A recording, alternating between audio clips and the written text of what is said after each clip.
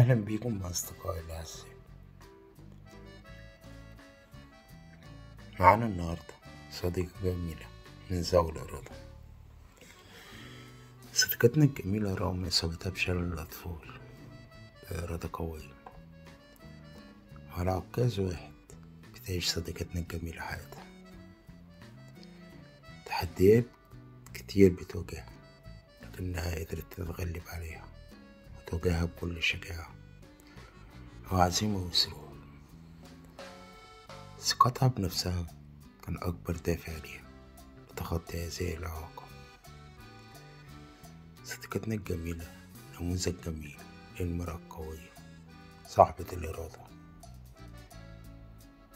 قوة إرادتها وعزيمتها بتتحدى إعاقتها